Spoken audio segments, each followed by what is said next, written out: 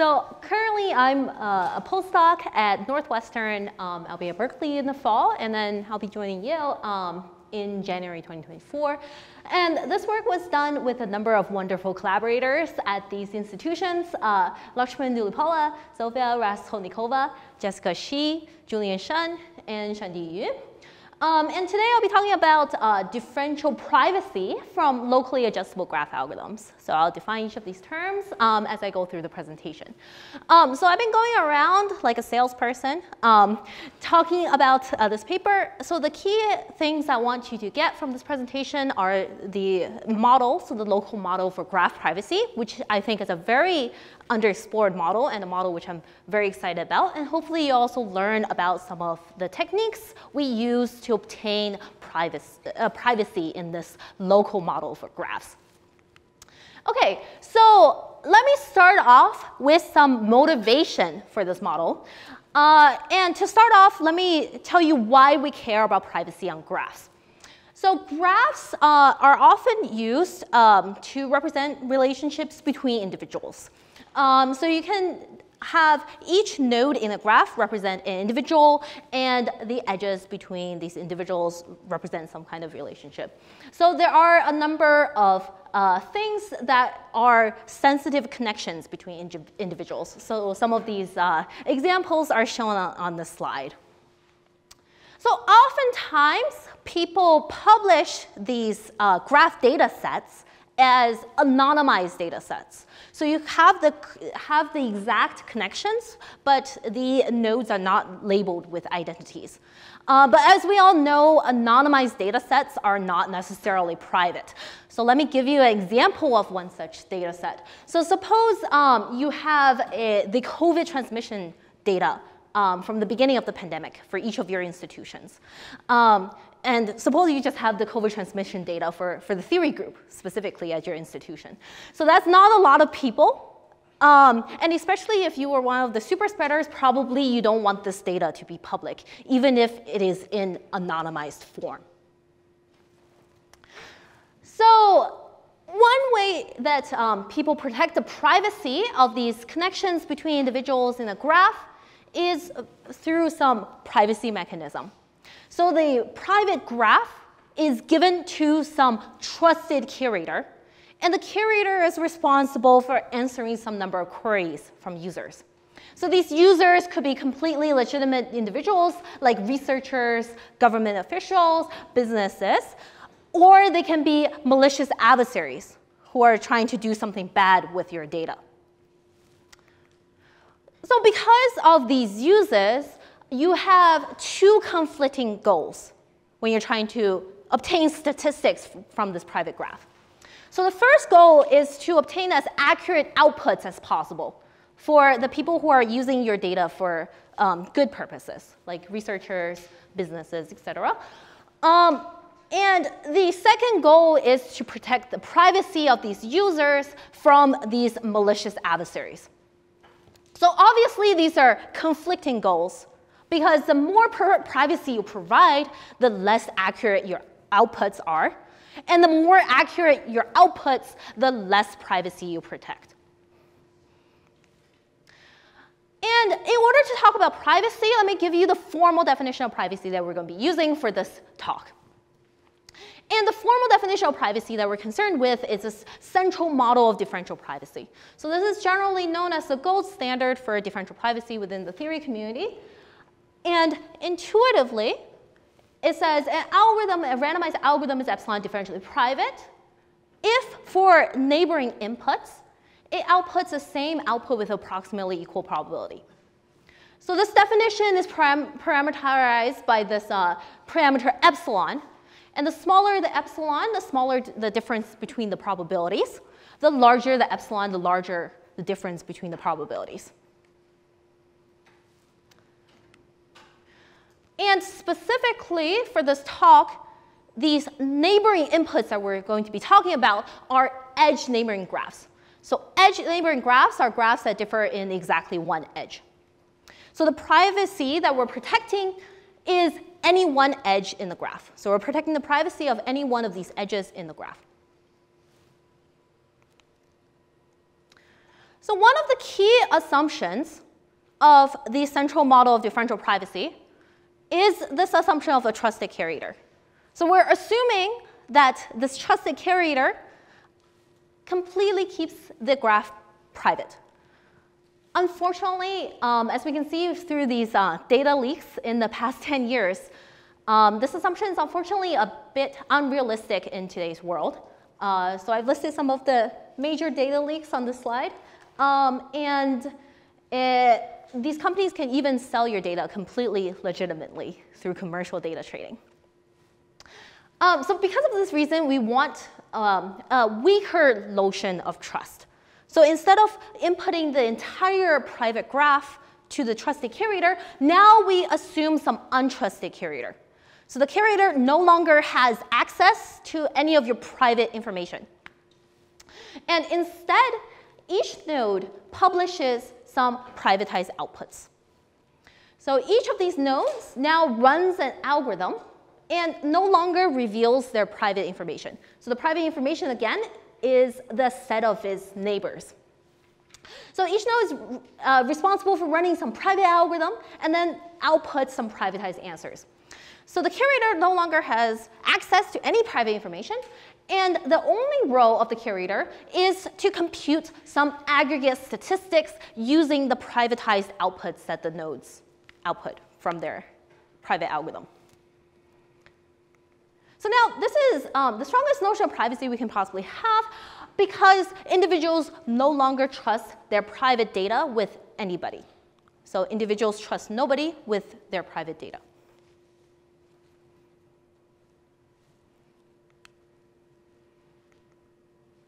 So let me now define um, this notion of local privacy graphs more formally. So we define this notion of local edge differential privacy and local edge differential privacy relies on this definition of a local randomizer. So an epsilon local randomizer is an epsilon differentially private algorithm that takes as input an adjacency list, A, and this adjacency list is your private data, and some public information, and it outputs private, uh, epsilon differentially private outputs. So here's an example. Uh, so we have this local randomizer, R, for this node A.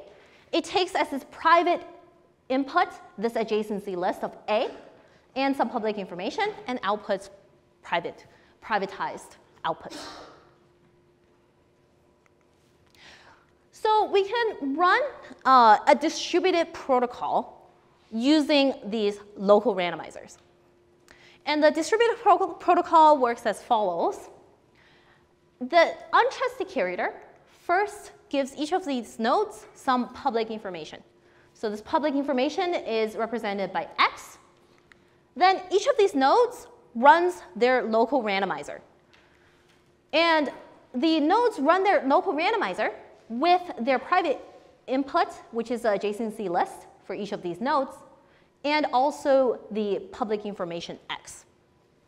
So each of these nodes runs the local randomizer algorithm and then outputs some output back to the uh, untrusted curator. So the untrusted curator then takes that output and then computes some new public information based on the outputs from the previous round. And then the algorithm, uh, then the nodes can run the local randomizer algorithms again using the new public information um, and again using their private information and then give back new outputs to the untrusted curator. So you can run this algorithm in rounds via some distributed protocol. And because you're running these algorithms in rounds interactively with the, with the untrusted curator, the relevant complexity measure that we care about is the number of rounds of communication. So at the end of the algorithm, the untrusted curator takes all of the outputs from all the rounds and then computes some aggregate statistics back to the users. Yes? Should I be thinking of the like public information that the curator sends back to the nodes as truthful or also potentially like adversarial? Yes, that's a good question. Um, so the question is, should I be thinking of, about uh, this information as truthful or potentially adversarial? So currently for the models that we're looking at, we're uh, completely trusting all the players. So everybody sends truthful information according to the protocol. So, so is, Yes. is the distribution model important for your privacy? Like, as in, like, uh, are you assuming this uh, local randomizer as not free, or like, basically you partition the graph and give parts into in, to, to one like uh, local randomizer, right? So is that important for the privacy also? Um, so the question is whether the distributed model is uh, important for privacy. Um, and it is because we're assuming that nobody else knows the adjacency list of the node. So we're assuming each node is a server. And the reason that that is important because is because we're assuming that each of the servers maintain their own private information. So um, we have to assume that each node is its own individual server because we're assuming that no other nodes besides, I guess, the, the endpoints of the edge knows that the edge exists. So the distributed part is a product of our local model for privacy.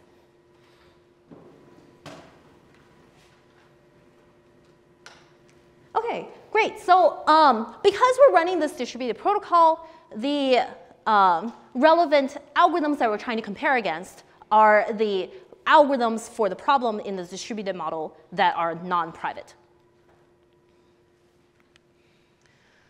And using these local randomizers, we can define this local edge differential privacy definition.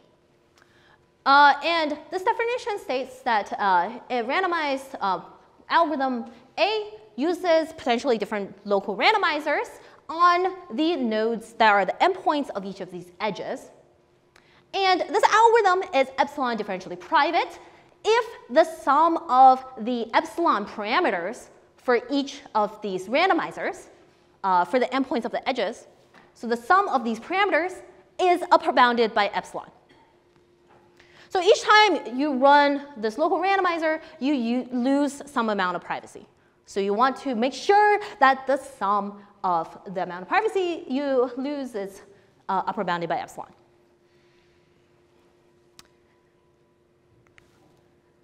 And as I mentioned before, um, this is a very understudied model of privacy for graphs. So this is all of the um, previous work on this model. And the only theoretical works um, besides ours um, are this set of uh, works. And specifically, for all the other works, uh, they have focused on this problem called triangle counting. Now, the problem with triangle counting is that the gap in the error between the central model of privacy and the local model of privacy that we have, there's a polynomially sized gap. So for the central model, um, there's a trivial algorithm that gets O of n over epsilon, um, additive error. But for the local model, we, show, we showed that for the interactive multi-round case, uh, you need at least n to the 3 halves over epsilon additive error. If you only have one round, the error becomes quadratic. Yes? Um, the previous slide? The previous slide? Yes. Uh, no, before this. Sure. Here, why are there more number of randomizers? Like, why do you need like J randomizers per node? Ah, so the, uh, the question is why are there more randomizers? Why are there J randomizers? So these are randomizer calls. So if you have an interactive protocol, um, each round of a protocol you might call a number of randomizers. So these, the, the randomizers that you call for each round of the algorithm might be different randomizers, and they can be different randomizers. So the J randomizers are the randomizers that you call over J rounds of the algorithm. J not equal to L? Sorry? Is J not, not equal to L? We are, J might not necessarily, uh, so the question is whether J is equal to L. J might not necessarily be equal to L depending on whether the node calls a randomizer in that round.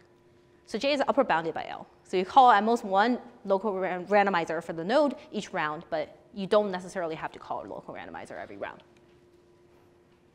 Yes? This is maybe more of a philosophical question, but like why why is like adding these I mean like each of these things really corresponds to like some probability and you're adding things here. So should I think of this as like you you want to like union bound over whether or not Yeah. the adversary Yep. but like theoretically like these things might be independent and then Yeah. So the question is whether um, adding is a correct operation here for, uh, for bounding the privacy loss. Um, generally, generally, in the central model, we also add the probabilities. It's, this is due to the composition theorem. So um, if you work in central privacy, there's composition theorem such that if you call some private algorithm um, over that many calls, you add together their, their parameters. So this is a natural notion to follow for the local model. Yeah.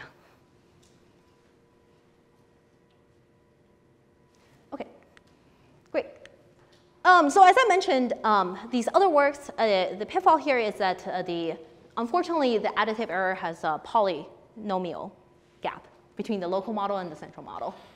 So the natural question we ask is then, does there exist some epsilon LEDP algorithms for graph problems where the multiplicative error matches the best distributed non-private algorithm for the problem and with only polylog n over epsilon additive error, so no poly polynomial gap uh, in additive error. And we answer yes uh, to this question in our paper. And specifically, uh, we give the following set of results. Uh, so the first problem we look at is this k-core decomposition problem, which I'll describe in the next few slides. And for this problem, we get a 2 plus eta multiplicative approximation algorithm for any constant eta greater than 0. And this matches the best non-private result uh, distributed algorithm for this problem. And um, we achieve only polylog n over epsilon additive error. So specifically, this polylog n is log cubed n. Um, and we do this in O of log n rounds, which also matches the number of rounds for the best known um, non-private algorithm. And we also, um, using a very similar algorithm, also obtain a 4 plus eta multiplicative approximation for densest subgraphs. So unfortunately, this one does not quite match the best known um, non-private algorithm. Uh, but in the central model, we're able to match this approximation, this uh, multiplicative approximation here. And in addition to this, using all these algorithms, we can generalize under a privacy framework, such that if you satisfy the uh, constraints of this privacy framework, we're able to give you a private algorithm. So the only, only pitfall of this framework is that we weren't able to prove an approximation guarantee for this framework. So we're able to guarantee privacy with this framework, but not an approximation guarantee. So it's an open question whether you can obtain a bound on um, the approximation for this framework. And for the rest of the presentation, um, I'll focus on this K-core decomposition problem. So let me define this K-core decomposition problem. So the K-core decomposition is defined in terms of a K-core and the K-core is defined as a maximal subgraph where the induced degree of every node in the subgraph is at least k. So in this example, I've shown a three core, uh, and this is a maximal subgraph where every node in this induced subgraph has degree at least three. So now we can assign every node a quantity called the core number. So the core number of a node is the maximum core value of the uh, core containing the node. So the maximum value core in this example is a 3 core. So every one of the nodes in this 3 core has core number 3. And here are the core numbers for every other node in the graph. So all of the nodes in the 2 core, but not the 3 core, is, uh, has core number 2. And this one node that's not part of the two core has core number one. Okay, so this is um, the definition for exact K-core decomposition. We can naturally relax this into a definition for approximate K-core decomposition. So we can give each node an approximate core number that is lower bounded by its exact core number minus d, and upper bounded by c times the exact core number plus d. So this gives you a CD approximate core number for each node in the graph.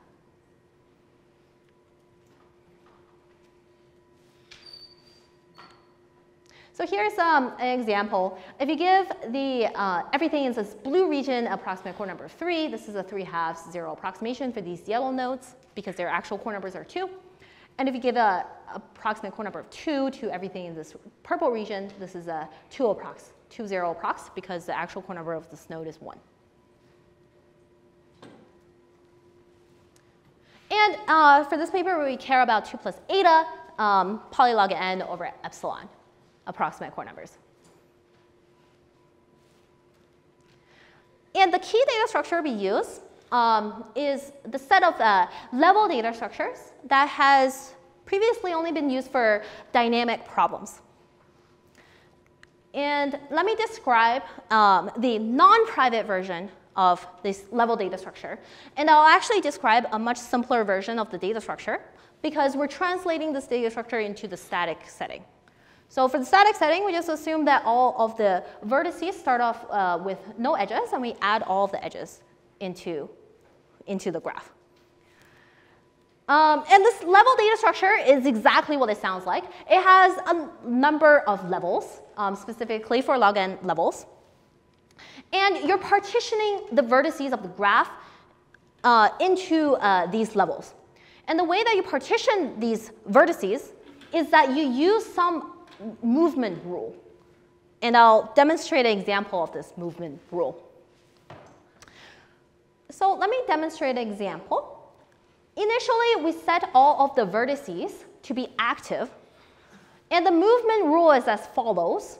You move a vertex up if the induced degree among the active vertices is greater than some threshold. And the specific threshold that we care about here is 1 plus eta. And for this, this example, I'll set eta to be 0.1. So first, I'll compute these induced degrees uh, among the set of active vertices here. And here are the induced degrees within this example. Now, for all of uh, these vertices that have induced degree greater than 1, we move these vertices up a level. And now, once I've moved these vertices up a level, vertices which moved remain active. Vertices which did not move become inactive. And then we repeat this process. So we compute the induced degree, the new induced degree, among the vertices that remained active and then we check whether they satisfy this cutoff. So specifically, if these new induced degrees is still greater than uh, 1, and we move uh, the new active vertices again, according to this rule. So we keep iterating this rule until we either reach the topmost level or all of the vertices become inactive. So this is a movement rule for one of these structures. Now, having one of these structures is not enough to give us the desired approximation of our core numbers. So in order to obtain the desired approximations of our core numbers, we actually need multiple copies of these structures.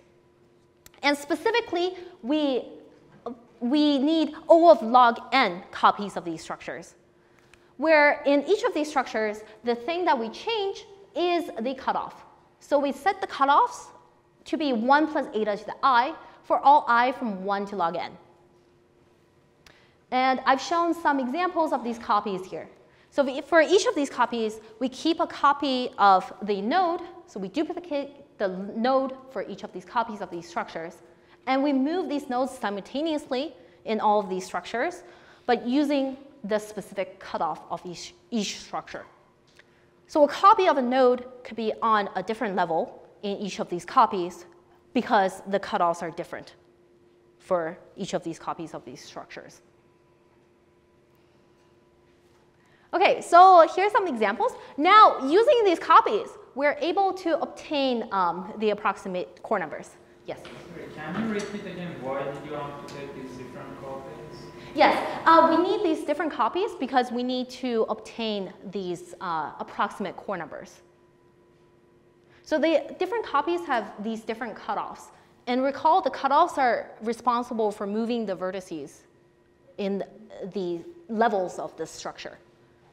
So, So The Yes. very first copy, the time that somebody stops that wasn't giving you the core number or Yeah, for the first copy, for the first copy, it doesn't give a, the first copy of the structure does not give you a very accurate uh, approximation for vertices that have high core numbers because the cutoff is too low.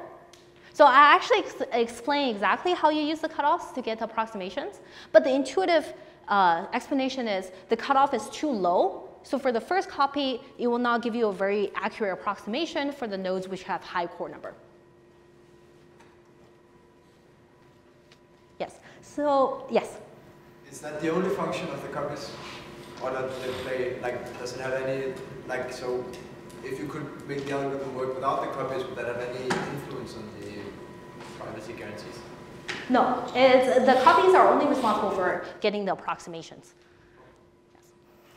Yes. the end result of this, like you're, you're only able to estimate the core numbers, like you don't actually give me a decomposition where the induced degree is approximately a node's core number, or Um, so the only function that we give right now is approximation of the core numbers. but not like an actual. Like- You can actually, You can get. yes. Um, that's a, a good question. So the question is, um, can you get a decomposition of the nodes into cores? So you can actually use um, the core numbers in the non-private setting to get a decomposition into cores.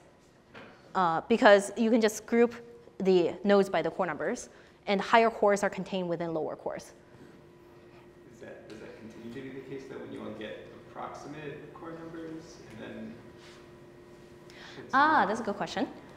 Um, so the uh, that's a good question. So the question is whether um, when you have approximations, do you uh, get uh, the core decompositions? So the exact cores will be contained within the approximate cores that we give. But this is only in the non-private setting. So privacy, private setting, you don't have the edges. So you can, al- you can still group the vertices um, by their cores, but now you have an additive error, which I'll talk about. Okay, great. So I talked about the cutoffs very intuitively, so let me tell you how to get the approximations from these cutoffs. So for each of these nodes, you take a look at the copy uh, where the node is in the topmost level of uh, each of these copies. And you give the, the approximate core number to the node of 2 times 1 plus eta to the i, where 1 plus eta to the i is the largest cutoff where the node is on the topmost level of that copy. So let me run through an example here. Suppose you're taking a look at uh, these nodes here. So I've highlighted all the copies of these, each of these nodes in each of these structures. So the structure with the largest cutoff, where each of these nodes is in the topmost level, is this cutoff, 1 plus eta to the 7. So you give each of these nodes an approximation of 2 times 1 plus eta to the 7. So here this equals 3.9, uh, which is a 2 approximation because the actual core numbers of each of these nodes is 2. So you directly use these cutoffs to obtain the approximation of the core numbers. Now let me tell you intuitively why this gives a good approximation. The topmost level of a node means that the node is adjacent to sufficiently many neighbors of sufficiently high degree. And the largest cutoff gives the largest such degree where the node is adjacent to sufficiently many neighbors of that degree. Um, and intuitively, intuitively, what this means is that all of the nodes on the topmost level have core number approximately the cutoff of that structure.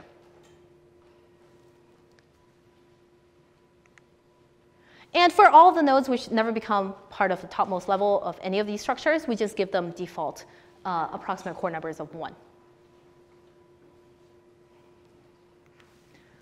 Okay, so now let me describe our private algorithm. So the private algorithm is actually a very simple change, but of course the analysis is more complicated. So let me describe this simple change here. Recall that I said the structure depends on these movement rules. Now, each time you decide whether to move a vertex, you now draw an independent noise from a symmetric geometric distribution. So I given the PMF for this distribution here. And you add this noise to the induced degree of the vertex to determine whether it, it now exceeds this cutoff. So let me run through an example. And you can, of course, draw all these noises simultaneously um, and independently. Uh, so let's take a look at this node i. So i needs to compute its induced degree, which is 1. But now it needs to determine whether it needs to move up. So I draws this uh, independent noise uh, from this distribution. And now this added noise plus induced, induced degree exceeds 1. So we move i up. So you, you do this independently for every node. And then everything else proceeds as before. So the only change to the algorithm is that you will now be drawing a geometric noise. So the key with this geometric noise is that um, you can draw a positive, zero, or negative noise with equal probability. So now approximation is also obtained as before. So this is the only change to the algorithm. Um, so now, now let me prove to you the privacy and approximation guarantees, both of which are, the approximation guarantee, I'll only give a proof sketch. The privacy guarantee is quite simple to prove. So to prove the privacy of this algorithm, you just need to show that this algorithm can be implemented by local randomizers. So here is the local randomizer that we define. So we define the local randomizer R to take the private adjacency list and a public set of active vertices. Now this randomizer then computes the intersection of the private list with a public set of active vertices. And then you add geometric noise. So why does this work? This works um, based on uh, this definition of global sensitivity. So the global sensitivity of a function f, uh, which I'll denote as delta f, is the maximum absolute value difference of the output of the function on edge neighboring inputs. So the function that we care about is this intersection function.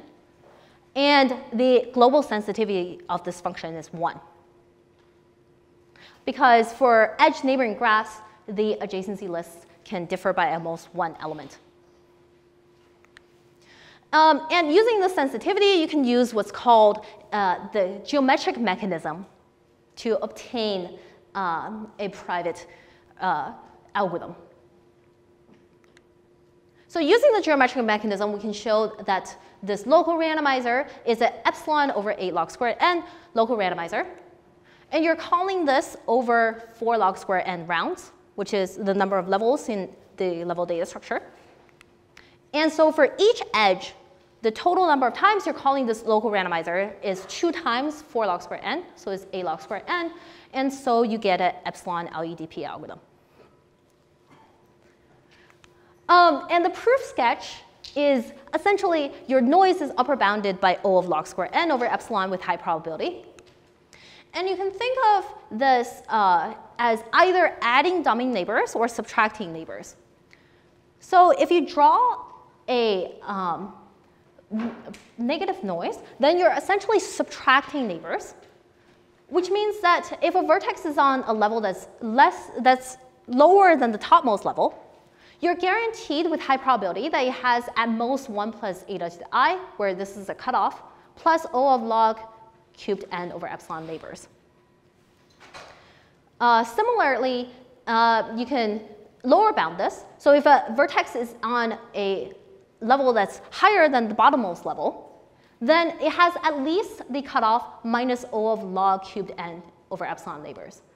Uh, which means that if you draw a positive noise, you're adding some dummy nodes, but you don't add too many dummy nodes. And the key here for this proof is that the largest cutoff increases and decreases by at most an additive O of log cubed n over epsilon value. And recall, the largest cutoff gives you your approximate core number. Okay, so we can generalize these concepts um, into this framework. So I'll describe a very high level uh, idea for this framework. Um, but our paper gives a more specific framework that can be applied to more algorithms. So this framework has a state for each of these nodes where a node's current state depends on the number of neighbors which satisfies some predicate. So the number of neighbors with previous state which satisfies some predicate.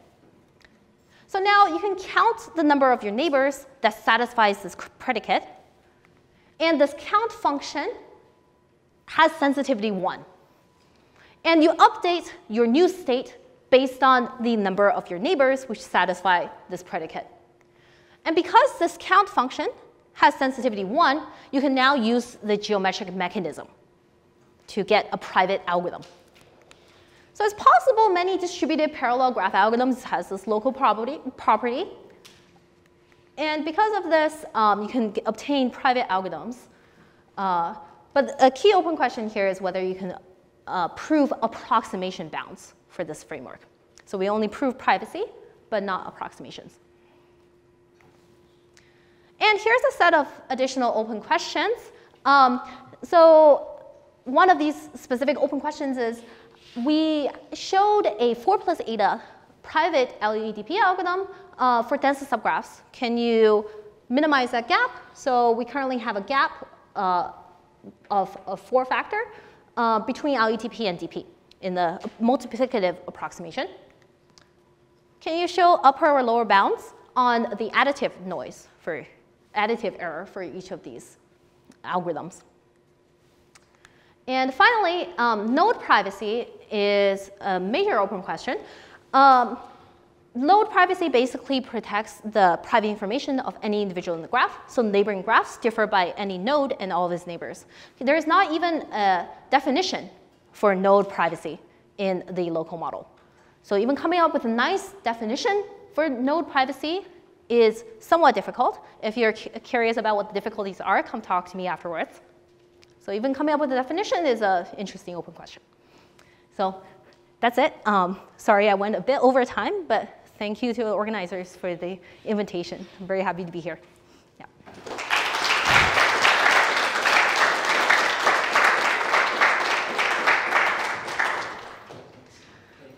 questions for Shen Yes. So I would like to understand the importance of using uh, geometric noise instead of, let's say, exponential Ah. or Laplace. uh, Yeah, yeah. The, the, you can definitely use the Laplace noise because we're dealing with induced degrees. We just wanted to make the uh, additive value integral. Yeah. So that's the, on, that's the only reason. All right. all Yes. right. Okay. So it's easier to work with because the, the noise is an integer. Yeah. Um, you consider graphs that differ by one edge, right? Like, is there generalizations where you consider graphs that differ more, more number of edges? Yes, um, you can definitely come up with generalizations um, of graphs that differ by more than one edge. You can use the composition theorem when you have constant number of edges that differ. Um, for more, for greater than constant number, you lose privacy. Uh, so potentially you can have algorithms that loses less privacy greater than um, constant number of edges that differ between graphs. But that would be, that would be a new model. One more question. So, um, here the K-core algorithm that you were using, it's not like a traditional one, like because the one you started with had approximate, you, you're computing an approximate K-core, but there are exact K-core distributed algorithms. Can you make this privacy work on that, those kinds of? Yeah, so um, the question is whether you can make um, this kind of framework work for other types of K-core deco decomposition algorithms. Um, so the traditional K-core decomposition algorithm uses peeling. Um, so you iteratively remove the node with the smallest degree. Actually, there might be um, impending work, which I can't talk about, um, that actually uses the peeling algorithm to get a better approximation in the central model. So. So actually, I have one more question about the model. So um, I don't think I understood, understand it fully. So can you go back to the slide of the Sure. price analysis? So you want the model slide? Oh, no, the, just the price analysis for the algorithm. Oh, yes. I think That, that will help. Sure. So something, Here. yeah, you mentioned there's a private adjacency list. Where Yes. is it- where is that from? The private adjacency list is held by the node. So the node knows its private adjacency list. So it's only the local list, and then only like my neighbors. Yeah, it's just, just your neighbors. Good, I see. Yes, So that's right.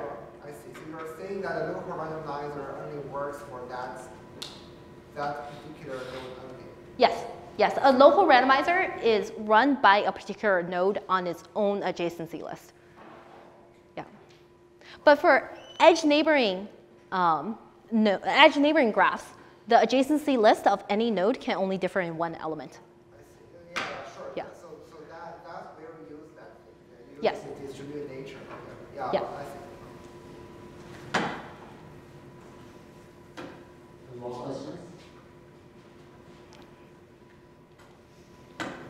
Okay, I, think I, I conclude. Uh,